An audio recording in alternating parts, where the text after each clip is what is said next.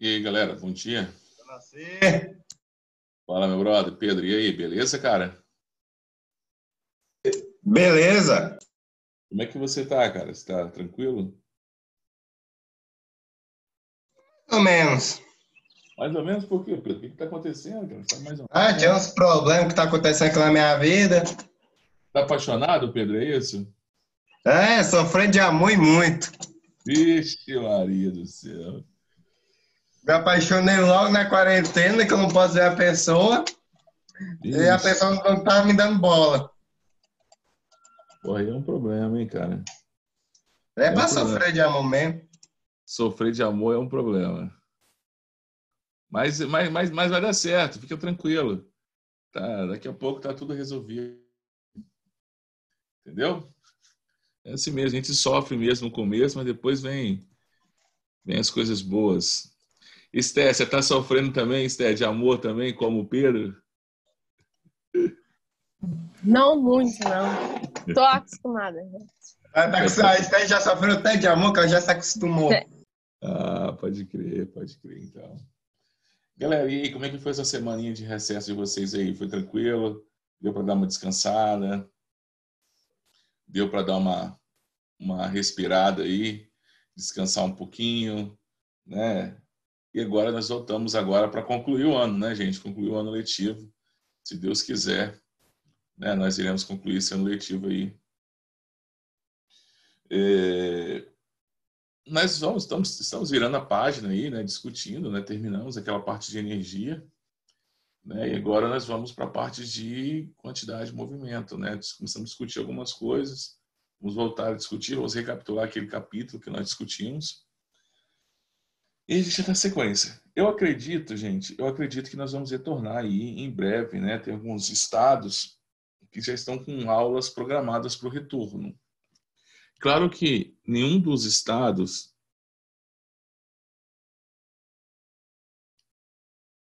é, eu eu estava olhando, só, só falar aqui os estados, eu fiz uma lista dos estados, dos estados que já tem data para retorno. E a gente consegue ver aí uma luz no fim do túnel, né? Então, por exemplo, ó, o Maranhão, é, dia 10 de agosto, Rondônia também, Tocantins, dia 3, Rio Grande do Norte, dia 17, e o Distrito Federal, dia 31 de agosto. Aí, então, aqui nós temos cinco estados. Aí tem estados que vão voltar em setembro, como Acre, Santa Catarina, São Paulo, Piauí, Paraná. Então, quer dizer que está todo mundo pontuando, né, sempre baseado nos critérios de saúde, quando vai ser o retorno. Lembrando que, o que, que é isso? Como é que eles fazem esse cálculo? Através de pesquisas. Por exemplo, quando o número de infectados e o número de pessoas, né, que, então, o número de infectados diminuir, por exemplo, ah, suponhamos que cada novo infectado, né, o número de novos infectados for menor do que um, por exemplo. Hoje, na instituição chegou a dois. Então, para cada um, né, eu tinha, tinha no, outro, no outro período mais dois infectados. Então, estava dobrando a cada período. Hoje, acho que no estado está 1,20, eu acho. Quando isso se tornar menor do que um, a gente já, tá, já, já, tem, já teria uma segurança para voltar às aulas. E em breve está acontecendo isso. Claro que todos esses estados que eu disse, o retorno ele é facultativo. Volta quem se sente seguro. Volta quem não tem comorbidade, quem não mora com ninguém do grupo de risco. Aí retorna. Então quer dizer, gente, que mesmo que a gente retorne, a gente vai continuar. Na verdade, o nome desse. A gente vai votar num processo chamado de blend. O que, que é isso? momentos presenciais e momentos semipresenciais. Então é como se a gente fosse lá, tivesse uma aula do que nós vamos falar, aula de conteúdo, e nós ficaríamos resolvendo exercícios. Aqui eu faço exercício, dou novos exemplos, complemento o que eu não dei presencial, daria via é, EAD. Então é chamado de blend, né? uma mistura das duas coisas. Porque não tem como colocar. Lá na escola nós temos poucos alunos, nossas salas são grandes daria para vocês todos ir para a sala. Né? Agora, por exemplo, na escola pública, que tem 40 alunos, numa sala menor do que aquela de vocês, não dá para colocar 40 pessoas lá dentro, mais um professor. Então, a gente está para retornar. Né? Todos os processos de segurança estão sendo tomados por todas as escolas, não é só o Cristo Rei, estou falando de todas as escolas no Brasil. Então, quem já foi nas clínicas aí, está indo lá nos hospitais, tem aquele tapete higienizador onde você pisa no tapete para tirar, tem, com, com higienizantes, normalmente são hipoclorito, para matar vírus que talvez estejam lá na sola dos calçados, né, álcool espalhado por toda a região, máscaras, todos aqueles processos que vocês aí que estão indo aí em algumas regiões, né, clínicas, né, tá, estão observando isso assim como os, como supermercado. Então, o supermercado está meio desorganizado, né? O supermercado começou muito bem organizado e hoje já está completamente desorganizado. Os mercados lineares, então, são completamente desorganizados. Ali está sendo um grande risco ir ao supermercado, tá? Mas a gente, né, as escolas são visadas e nós vamos voltar com bastante segurança. Eu não sei quando. Também não faço parte nem do Estado, nem do particular, não faço parte desse, desse comitê de medidas profiláticas de segurança. Estou falando assim de acordo com o que eu estou lendo, do que eu estou observando, mas acredito que no mês de agosto, aí, mais tardar setembro, nós vamos retornar. Se não me engano, essa semana o governador faz um, fala um decreto sobre isso, tá? O Casagrande. Então, o Casagrande, essa semana, ele vai fazer um decreto, se ele vai prolongar para mais 30 dias ou mais 15.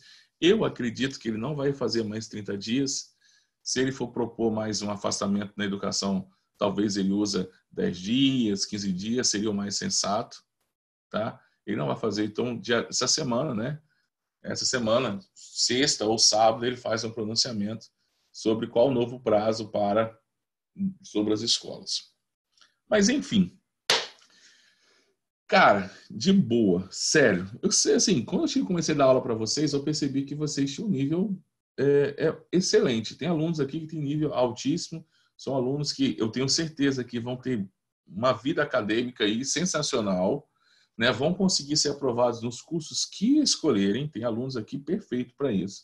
Então vão conseguir aprovação em medicina, basta em engenharias, em, em direito, em odontologia, em cursos, aqueles cursos mais concorridos, vocês vão conseguir porque vocês têm uma capacidade de aprendizagem muito grande. Então tem alunos do primeiro ano aqui sensacionais. São alunos estudiosos, são alunos dedicados. Então, a primeira vez que eu cheguei na turma de vocês, eu já percebi. Né? Alguns já conheci do nono ano e outros eu conheci esse ano, né? O do B, principalmente. A maioria dos alunos não eram daqui, né? Não era do Cristo Rei, então chegaram esse ano.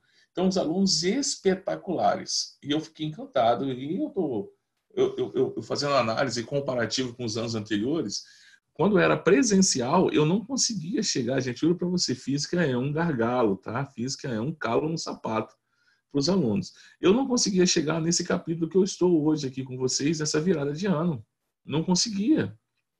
E aí, isso que me deixa surpreso, isso que me deixa muito feliz, porque mesmo sendo EAD, mesmo sendo à distância, nós conseguimos fechar muitos capítulos. Nós estamos quase fechando o nosso livro 3. Enquanto eu voltava, gente, olha, o ano passado, para você ter uma ideia, quando eu voltei do recesso, eu estava em leis de Newton. Eu não conseguia sair. Tamanha era a dificuldade das, dos alunos. E nós já ó, estamos longe de leis de Newton, já fizemos bastante coisa, discutimos energia e tudo mais. Então quer dizer que nós estamos bem, sim. E todos os anos eu conseguia terminar em novembro, né, como era previsto. Esse ano, acho que é dezembro, provavelmente. Né? Então, quer dizer que eu estou muito tranquilaço com vocês. Eu sei que vocês vão dar conta das matérias. E o grau de complexidade das matérias tende a só diminuir. O que era mais difícil já passou, tá, gente? Agora se torna-se um pouco menos matemático, né? menos fórmulas.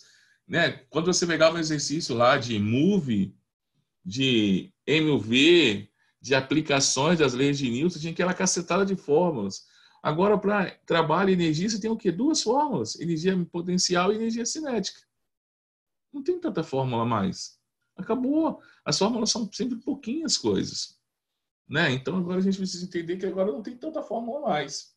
E é isso que eu quero mostrar para vocês, que a partir de agora, a física se torna um pouco mais fácil e um pouco mais teórica. Nós vamos ter capítulos de só teoria. Tá? Então, vamos lá? Vamos, então, eu vou abrir o livro aqui. Deixa eu pausar o meu compartilhamento. E eu vou, né, o livro de vocês, primeira série, nosso livro de física. Estamos no nosso livro 3. 3, 3, 3.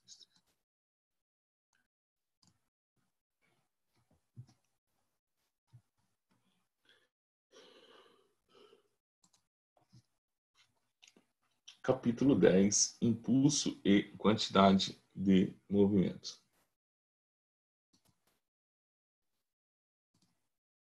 Nós já começamos, hein? Nós já começamos a discutir isso aqui, não é isso, gente? Começamos a discutir sobre impulso. Só vou fazer uma recapitulada. Tá? Já começamos a discutir sobre isso. Lembra alguma coisa do capítulo 10? Fala para mim se vocês lembram de alguma coisa. Eu não lembro de nada. Ah, eu lembro eu... um pouquinho. Um pouquinho? É. Você só falou... de movimento, que era massa vezes velocidade. Isso. Isso. Impulso que é força vezes tempo. Isso, perfeitamente. Então, é, teoricamente, né? E esse capítulo é isso aí. Mas o que que você saber desse capítulo?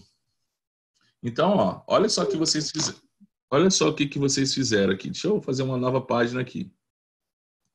Ó, vocês falaram para mim, olha o que vocês estão falando, ó, só coisas importantes, ó.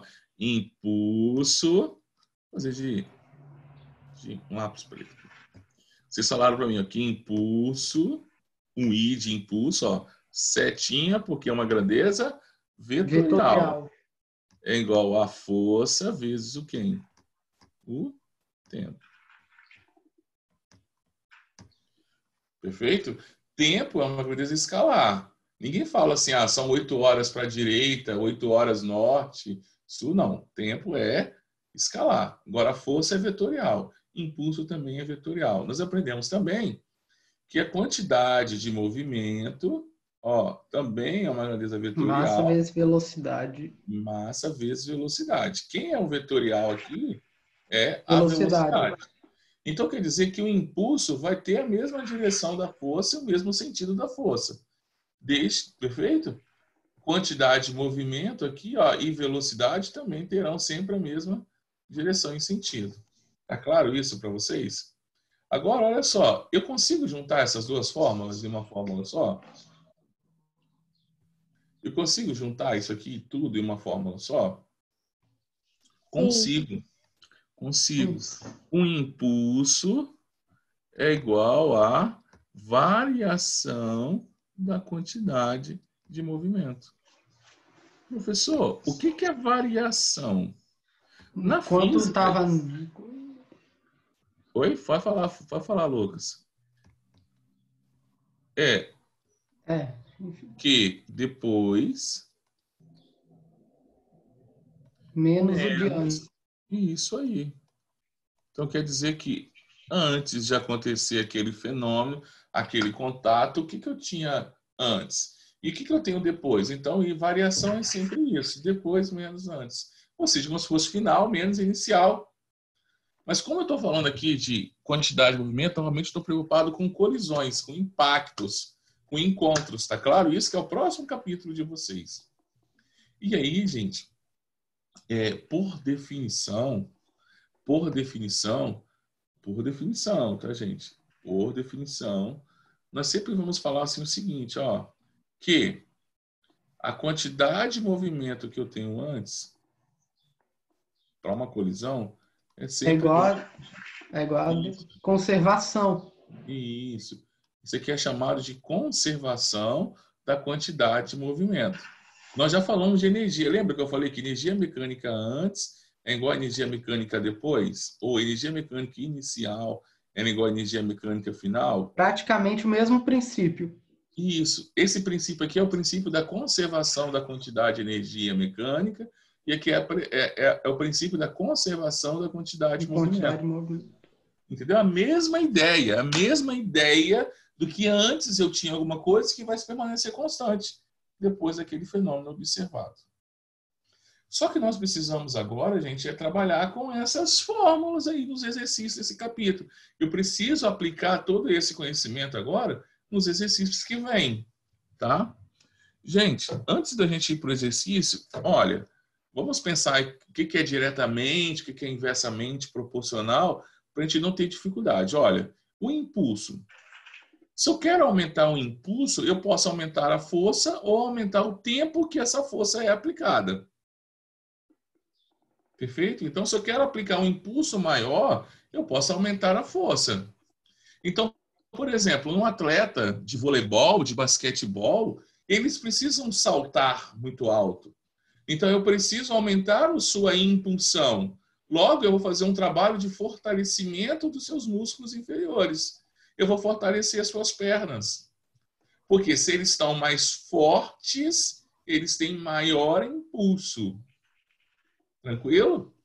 Por isso, jogador de futebol, jogadores de basquete, de voleibol, jogadores que saltam muito, tem que ter muita força nas pernas. Então, tem a musculatura dos membros inferiores muito desenvolvidos. Ou eu posso fazer o seguinte: se eu não conseguir fazer isso, eu aumento o tempo de aplicação dessa força. Então, normalmente, quem acompanha futebol aí, né? Como é que acontece? É, normalmente, no futebol, o que, que eu faço? Então, suponhamos que aqui eu tenho aqui minha pequena área, né? E aqui eu tenho a grande área. Normalmente, o que, que os jogadores fazem? Né? Jogadores, ou os mais baixos ou os zagueiros, eles ficam fora da pequena área. Para quê? Para vir correndo quando a bola. Então, suponhamos que eu tenho um tiro, um tiro, de, um tiro de canto aqui, né? um escanteio.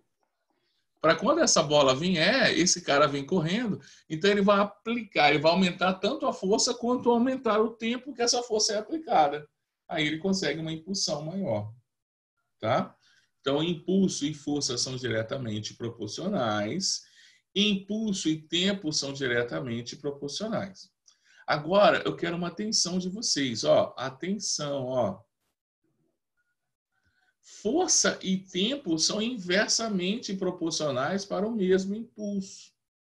Se você aqui, aumenta um, diminui outro. Isso, é aqui que entra a aplicação do airbag. Qual é a função do airbag? Qual é a diferença? A gente pergunta assim, professor, se tem cinto de segurança, para que ter airbag? Fisicamente falando, tá? O cinto de segurança ele impede a sua inércia. O objetivo do cinto de segurança é impedir que você continue em movimento caso ocorra uma parada abrupta, caso ocorra uma parada emergencial. Esse é o objetivo do cinto de segurança. Então, houve uma colisão, né? houve uma frenagem muito rápida, o carro vai parar, a tendência é você continuar devido à inércia. Então, o cinto de segurança impede a sua inércia. Só que o cinto de segurança ele não vai impedir de você colidir com o automóvel. Mesmo que você esteja no cinto, você bate no volante, pode bater no painel. Então, o que, que ele faz? Esse airbag, já que a variação da quantidade de movimento ou seja, eu estava a 100 e agora meu carro parou, então a variação da quantidade de movimento foi a mesma, mesmo que ela seja a mesma. Se eu tenho airbag, eu vou aumentar o tempo que esse passageiro vai ter com a colisão do automóvel. Se eu aumento o tempo, a força de impacto é menor. Uma aplicação muito simples disso. Suponhamos que eu pegasse um ovo não cozido e erguesse ele à altura da minha mão, né, dos meus braços, e soltasse ele na cerâmica, no piso, o que, que vai acontecer? Pou, ele vai quebrar. Agora, se ao invés de soltar ele no piso, soltasse ele naquele carpete bem fofinho, vamos dizer que a nossa mãe vai deixar fazer essa experiência. O que, que vai acontecer com esse ovo? Será que ele vai quebrar? Não. Não. Mas ele não teve a mesma variação de velocidade? Teve. Ele não teve o mesmo impulso? Teve. Mas o tempo de interação dele com o solo foi maior. Logo, o impacto, a força do impacto foi menor. Diminuiu a força que o solo exerceu sobre ele automaticamente. Uma menor força, menor possibilidade dele quebrar. A mesma coisa acontece com a gente. Então, se eu demorar mais tempo para colidir com o objeto, eu vou estar submetido a uma força de impacto menor. Por exemplo, outras aplicações são a luva, né, desses boxeadores, lutadores de MMA. Para que, que eles usam as luvas? para aumentar o tempo de contato e automaticamente diminuir a força de impacto. Por que, que eles passam parafina no rosto? Já viram que lutadores de MMA usam parafina? Para que a parafina? Para deslizar a mão. Se desliza a mão, aumenta o tempo de contato, logo a força de impacto será menor e não será concentrada, ela será descentralizada para evitar lesões mais graves. Tranquilo? Então, nós discutimos a nossa teoria e agora nós precisamos fazer exercício, né? Então, vamos ver como é que isso cai em questões. Então, vamos voltar para o nosso livro. Gostaria que vocês fizessem a leitura do livro de vocês, todas essas observações, tá? Que estão aqui. E agora nós vamos resolver exercício.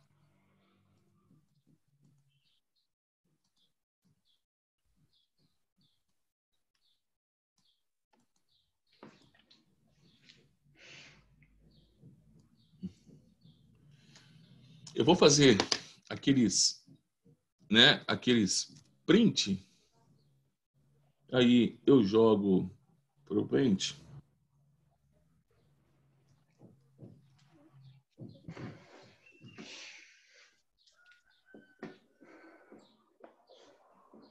Tá?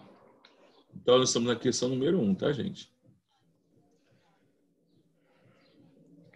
Vou fazer o print, vou jogar lá naquele nosso quadro.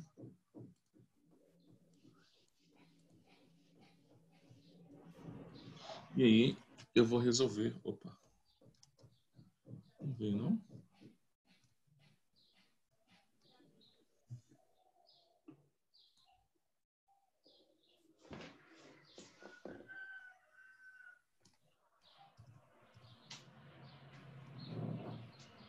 Tá aqui. Então, olha só, gente. Vamos ler essa questão. Olha que, é, é, gente, exercício aqui é muito fácil e é muito tranquilo, muito fácil. Murilão tá aí não, Murilão?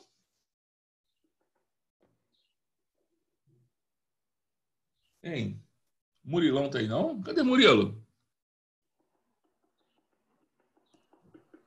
Murilo Machado, faltou? Só colocou o nome aqui e meteu o pé. vou falar para Kita, tá? Vou ligar para Kita agora. Eu. Eu, eu, eu, eu. O que aconteceu com você, cara? E tem eu. O que foi, Jancy? Pô, o que aconteceu com você? Para, bota sua careta aí. Não dá. Eu tô pelo computador, não tem webcam. Ei, tem um aplicativo aí que dá para espelhar o celular, tá? Eu vou, vou atrás então, já que você pediu com jeitinho. Entendeu? Isso aí, pô. Tem que mostrar esse, esse rostinho aí que a sua mãe, que a mamãe beijou, cara. Que faz todinho todo dia de manhã para você tomar um todinho. É, um todinho batido no liquidificador ainda, já pensou? Para virar tipo um milkshake, né? É isso aí. Pô, brincadeiras. Olha só, gente, olha que fácil, cara. Olha só que fácil o exercício, hein? Acompanha comigo aí. Murilo fez 18, tá chegando, hein? Vem aí, hein? Nem que nós fazemos em drive-in, mas vamos, vamos ter o Murilo fez 18, tá? Galera, na figura a seguir, o peixe maior de massa 5 kg nada para a direita.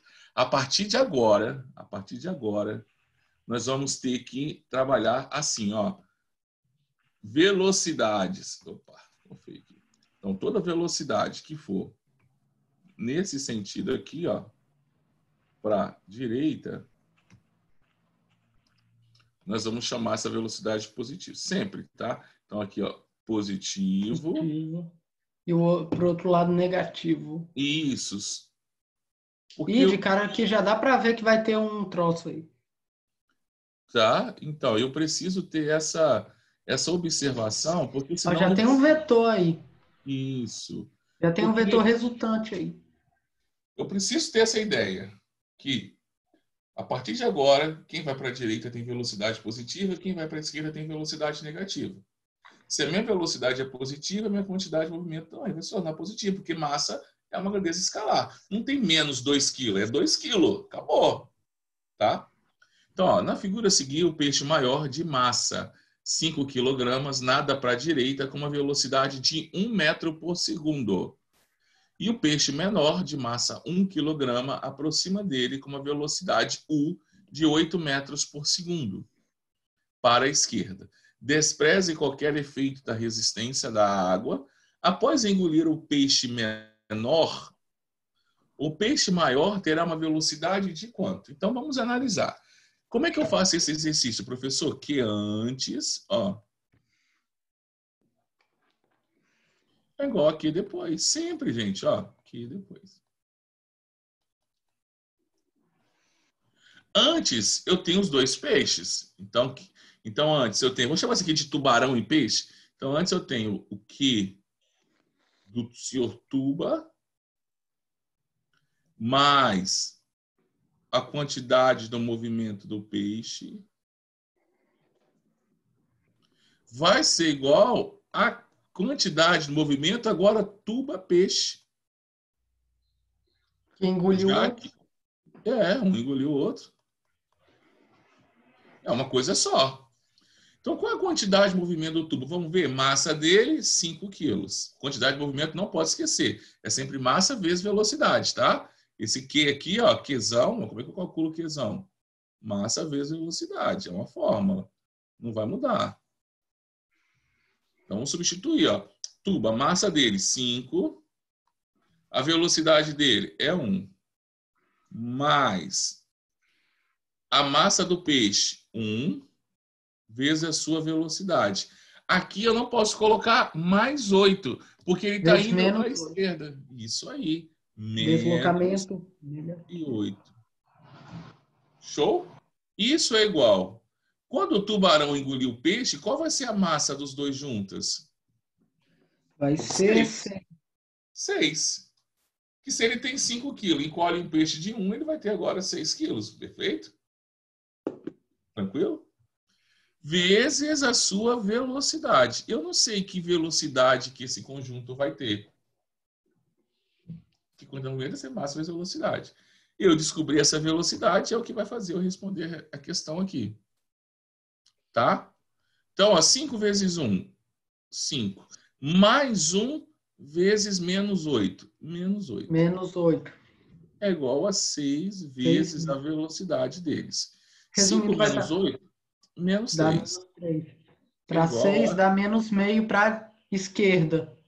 Isso aí. Então quer dizer que a velocidade deles vão é ser menos para a esquerda. Menos 3 dividido por 6. Dividindo isso aqui, dividindo isso aqui, menos a velocidade meio. dele é menos 0,5 metros. Para a esquerda. Ou seja, para a esquerda. Por que, que deu esse sinal negativo aqui? Olha, Porque ele está tá indo para a esquerda. Isso aí. Então, ó, o sinal da velocidade que eu encontrei me diz para onde que ele vai. Então, ó, qual a velocidade do tubarão agora com peixe? 0,5 metros por segundo. Para onde? Para a esquerda. Então, 0,5 metros Letra por segundo para a esquerda. E aí? Fala para mim, o que vocês acharam dessa questão?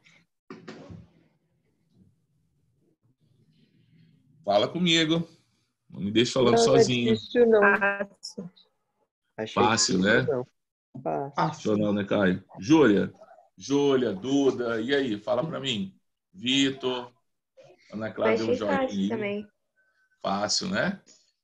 Sei. Lorenzo, cadê você, Lorenzo? Como é que tá Bananal, Lorenzo?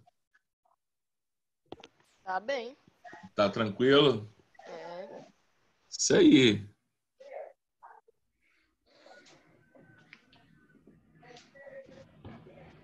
Isso aí, isso aí, isso aí. Galera, então vamos fazer mais um, então, né?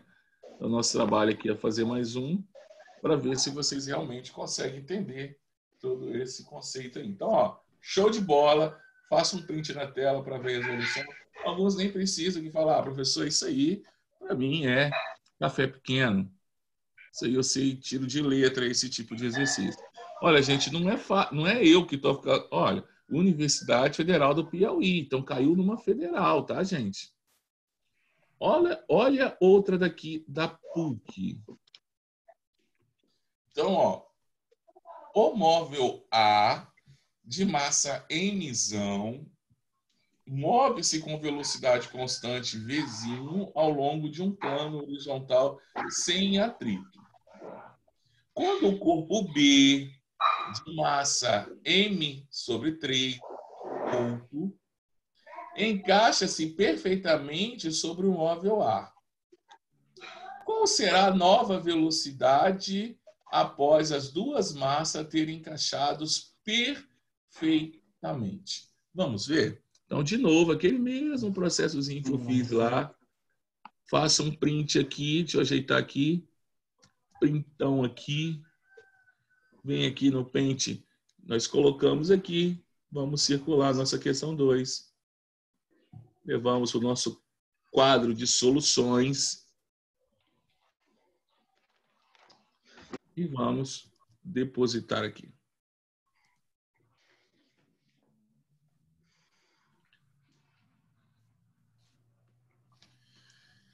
Galera, aqui é igual receita de bolo, né? Oi. É praticamente a mesma coisa. É uma receita de bolo, tá, Lucas? É o que antes é igual a que depois. Antes, o que, que eu tenho? B tem velocidade antes? Não. Mas vou colocar aqui, ó. Que de A mais Q de B vai ser igual a QAB. Porque eles não vão estar juntos, não falou que fica junto? Então é uma coisa só. Então, olha só. Tem setinha aqui, ele está falando em algum momento que B tem velocidade? Se B não tem velocidade, não tem quantidade de movimento, tá, gente? Então, ó, risquei o Q de B. Ele não tem velocidade, não tem setinha, não falou lá no texto que tem velocidade. Então, antes eu só tinha a quantidade de movimento de ar, que era quanto? A massa mzão, ó, que ele fala, ó, mzão vezes a velocidade Vzinho. Isso é igual a massa, quando eles acoplam, quando eles estão juntos, vai ter a massa de A, que é o mzão, mais a massa de B, que é o m sobre 3, vezes a velocidade deles agora. O que, é que eu quero descobrir? Que é que o exercício quer saber. Sim? Então, m vezes vzinho, m vzinho. mzão, vzinho. Somando isso aqui, vai dar quanto? O que, eu tenho que fazer? Eu posso somar assim, m mais m, 2m sobre 3? vai dar fazer... 4m sobre 3. Isso, eu tenho que tirar o mínimo múltiplo comum. Não é isso? Que vão ser aqui três, ó. Ou simplesmente jogar o 3 pro M e jogar para pro, com o outro. Perfeito. Né? Então, quem já tem habilidade matemática já sabe que M é 3M sobre 3. Entendeu? Mas quem não tem vai ter que fazer o que eu estou fazendo aqui pausadamente. Então, aqui não tem nada, é como se tivesse um. Então, o mínimo múltiplo comum entre 1 e 3 é 3. Então, 3 dividido por 1, 3 vezes M, 3M. Lucas, vou fazer o passo a passo aqui, porque tem uma galera que tem dificuldade para poder observar isso mais rapidamente. Ah, não é 3M, então, não é 3M sobre 3, não, é 4. Não. Ah, Esse ah, é, aqui 3M ah, tá. sobre 3. Uhum. Aí agora, olha só. Aí eu vou somar agora. Agora eu posso somar. Ó. M vezes Vzão é igual a 3M mais M. 4M sobre 3. Vezes V. Vezes linha. a V', que é a minha velocidade final, que é o que eu quero descobrir. Galera, o que, que dá para cortar aqui? Massa. O Mzão, né? Não dá para cortar? Ó. Cortei. Resposta letra quem, E. Quem está multiplicando passa dividindo e quem está dividindo passa o quê? multiplicando. Eu tenho que isolar esse cara aqui, ó. Então vai ficar assim, ó. V' vai ser igual 3 Vzinho dividido por 4. Ó, o 4 que estava multiplicando V' passou dividindo V. E o 3 que estava dividindo V' passou multiplicando V. Então, aqui cheguei à minha resposta. Letra E de amor, tá, Pedro? Que o amor é cego. Então, quem ama não enxerga as, coisas, as outras coisas boas da vida. É a letra E? Isso aí, 4V sobre 3. Opa! 3V, 3, letra A. Então é A. Vamos aqui errado. Letra A, de amor. Falei amor, tá? Letra A, de amor. Galera, e aí, o que, que vocês acham? Foi difícil porque não tinha números, né? Mas o processo é o mesmo. Fala para mim, que que foi, como é que foi aí? Como é que foi o processo? Conversa comigo aí. Caio. E aí, Caio? Conseguiria fazer, Caio? Caio? Sim. Murilo. Murilo, fala para mim, Murilo. Jonassi, é, Oi. tipo assim, no começo eu tava com um pouco de dúvida. Uhum. Mas depois eu comecei a entender, eu tô meio devagar ainda nessa matéria, assim, sabe, Jonassi? Eu tô tendo que prestar mais atenção para poder entender, assim. Sim. Mas é coisa que eu, com o tempo, né, se eu começar a pegar mais. Então, olha só, gente. Eu, eu quero que. Se vocês estiverem com vergonha de perguntar, e assim, às vezes, sério, às vezes, ó, oh, professor, não vou ligar a câmera, eu quero só perguntar. Assim, quando você não se vê a sua imagem, automaticamente fica mais. Você perde um pouco a inibição, né? Então é verdade. Você pode, poxa, desliga sua câmera e faz uma pergunta, cara. Pode perguntar, para a aula, não entendi. Faz, cara. Gente, na boa. Na boa. Olha, eu vou ser sincero para vocês. Nós iremos retor retornar à normalidade. A vacina já está em estágio avançado de, né, de, de, de teste. Já a, a de Oxford lá, né, do laboratório AstraZeneca, né, que é um laboratório famoso. Já começaram a testar uma chinesa no Brasil também. É, então, essa da essa da, do Reino Unido, né, a AstraZeneca, do laboratório farmacêutico, que produz alguns medicamentos, entre eles um famosão aí para hipertensão, atacante, é, está bem desenvolvido, criou a imunidade, efeitos colaterais baixíssimos ou nenhum, então uma baixa prevalência de efeitos colaterais. Então, gente, a vacina está aí, ó, vai chegar. Mas uma coisa que começou e jamais, jamais, jamais será como antes é nós teremos em algum momento aulas em EAD. Cara, o curso superior que vocês vão fazer vão ter aulas assim. É, assim, muita gente critica o, os cursos de medicina fora do país, por exemplo. Muitos brasileiros vão para a Argentina estudar lá na, lá na UBA, né? Universidade de Buenos Aires. Gente, eles têm prêmio Nobel e nós não temos não, tá? E, e como é que eu ensino de medicina lá na UBA? A maior parte estuda sozinho. Vai para sua casa, estuda vai lá para a escola só fazer prova, vai só tirar dúvidas. Então, nós vamos começar nesse processo gradual. Muitas matérias que se faz hoje, por exemplo, já são assim. Então, gente, infelizmente, é, um, é, um, é uma, é uma coisa que não vai voltar mais.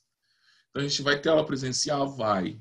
Mas, por exemplo, em alguns momentos, Jonassi vai marcar com vocês à tarde para dar uma aula para tirar dúvida do que foi dado no, no matutino mesmo com a gente tendo aula regular, a partir de agora eu já posso, opa, olha, vamos lá, gente, vamos marcar para fazer uma lista de exercício à tarde, um plantão tira dúvida, não precisa mais vocês que mora longe, por exemplo, tem que ficar aqui, fica na escola, almoça aí no restaurante, não vai para casa, não, marcar duas horas, duas e meia, três horas, tá todo mundo em casa, vamos tirar dúvida, vamos marcar um encontro aí.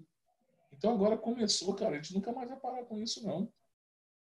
E agora já era, já era, para sempre agora. Essa ferramenta vai existir para sempre. Galera, vamos mais um? Acho que o 41, né? Está quase acabando a minha aula. É, agora a questão número 3. Um objeto de massa 0,5 kg está se deslocando ao longo de uma trajetória retilínea com aceleração constante de 0,30 metros por segundo ao quadrado. Se partiu do repouso, o módulo da sua quantidade de movimento em quilograma metro por segundo ao fim de 8 segundos é. Gente. Agora tem. Essa é muito tranquila, gente. Só quero saber, olha só, gente. Muita gente me pergunta assim, professor, eu sei, eu entendo o que você faz, mas na hora que eu pego uma situação, um problema, eu não consigo fazer, porque eu não sei o que fórmula usar. Eu não sei é, é, é, o que, que eu vou precisar para resolver aquela questão. Mas olha só a dica que eu vou dar para vocês aqui agora. Olha a nossa situação problema. Primeiro, o que, que ele quer saber? Ele quer saber a quantidade de movimento. Não é isso? Ele não quer saber a nossa quantidade de movimento? Então, ele quer saber a nossa quantidade de movimento. Então, ele quer saber a nossa quantidade de movimento. Ele quer saber isso aqui, ó. Que é igual a massa vezes velocidade. A massa eu tenho, a massa não muda. Mas eu tenho a minha velocidade Não. no instante t igual a 8 segundos? Não. Mas você tem aceleração. Tem, a, tem a aceleração. Mas eu consigo calcular a velocidade com a aceleração em tempo? Consigo. Sim. Então, o que, que eu vou ter que A recorrer? aceleração é igual a velocidade sobre tempo. Ou vi vovó atrás do toco. Qual a velocidade inicial? Ele falou que ele partiu do repouso. Então, a velocidade inicial dele é o quê? Zero. Não tem. Qual que é a sua velocidade final? Não sei. Quer Quanto que saber? vale a sua aceleração? 0,3. 0,30. Ou 0,3. Vezes quantos segundos? 8. Então, qual é a sua velocidade no final de 8 segundos? 2,4. Ah, então marcar 2,4? Não, não, não, não, não. Isso aqui é a nossa velocidade. Aí agora eu volto para o meu cálculo de quantidade de movimento. Então, a quantidade de movimento é a massa, que é 0,50, que é 0,5, vezes 2,4. Que vão dar igual a 1,2. Quilograma metros por segundo. Quilograma, porque o 0,5 estava em quilograma. Metros por segundo, porque esse 2,4 estava em metros por segundo. Fala para mim se isso não é muito fácil. Fala que se isso não é mais fácil do que nós tínhamos anteriormente. É a mais fácil que tem. Das Vai três que a gente fez. Vai ficar fácil física agora. O que era difícil era a cinemática, gente. Negócio de velocidade, lançamento horizontal, lançamento oblíquo, queda livre, movimento, lançamento vertical, move. Isso é difícil. O que era difícil já passou, agora é tranquilado. Tranquilaço. Galera, olha só. Ficamos por aqui. Um forte abraço em vocês. Cara, eu adoro conversar com a galera do primeiro ano, me amarro em vocês. É, espero que é, é, a recíproca também seja verdadeira. Eu adoro dar aula para vocês, acho massa. Né? Vocês aí, pô, estão junto comigo desde o começo. É, é- é a galera que mais frequenta, a galera mais assídua é o primeiro ano. Espero que vocês continuem assim. Se vocês estão assíduos, quer dizer que vocês têm sonhos e objetivos muito mais longe e esse problema de Covid não vai atrapalhar seus sonhos. Então, tamo junto. Bora. Murilo fez 18. Tá vindo aí. Forte abraço. Forte abraço, Jonas. Tamo junto, meu brother.